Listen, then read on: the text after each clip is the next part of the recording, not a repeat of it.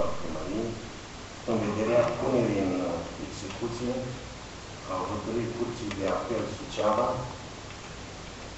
ca urmare a falimentului firmei Pere.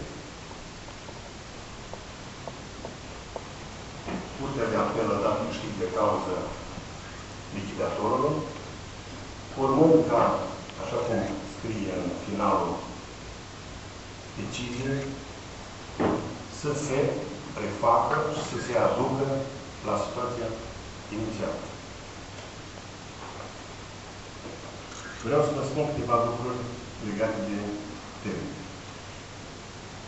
Valoarea masei credale a firmei termică, adică a tuturor datoriilor firmei termică, este conform hotărârii Curții de Apel 1762 miliarde de lei de Din această totală valoare datorată, datoria către statul permisiun este de 1612 lei, miliarde de lei.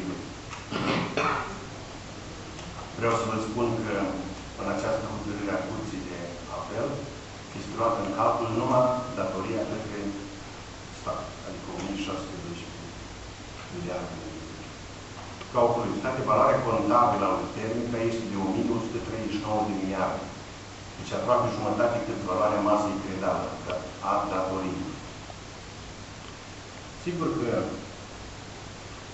aici sunt datorii către stat, datorii adunate în timp.